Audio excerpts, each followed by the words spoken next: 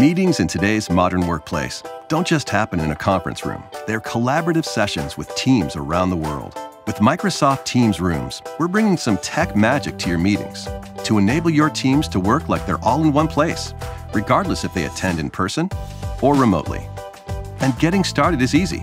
Just grab the first conference room you find open and use Proximity Join to connect to a Microsoft Teams Room device.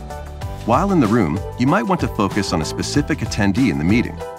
Just pin the video from the console to put the speaker on full screen. Beyond video, we want to make sure people who join remotely also feel included with brainstorming happening in the room.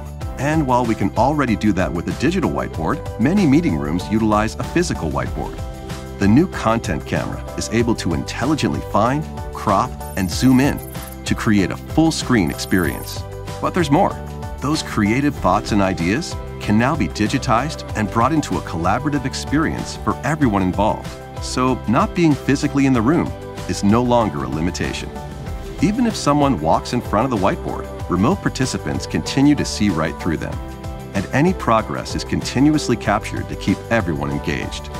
Before, collaboration on the whiteboard was limited to people in the room, and information couldn't flow and remained trapped. Now, even when sharing your notes and brilliant ideas on a whiteboard, meetings can be an inclusive experience for every participant, no matter where they are. Work like you're all in one place with Microsoft Teams Rooms.